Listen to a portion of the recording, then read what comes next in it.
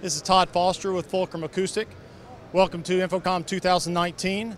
This year we're continuing to focus on our passive cardioid technology. This is a uh, technology, uh, patent awarded in December of last year. That's a new way of controlling low frequency radiation from the back of loudspeakers. This is the CS121. Uh, that is a single 21 passive cardioid subwoofer and also the full range CCX 1295 uh, mounted on top of it. So with both of these technologies, you'll notice that the ports are at the rear of the cabinet, and the technology works by using the, the rear radiation of the woofer uh, to, and allows it to move through a passive resistive uh, port network at the rear of the cabinet.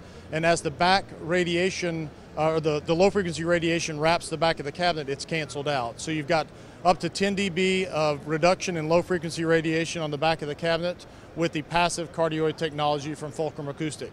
To see more information, please check us out on our website at fulcrum-acoustic.com.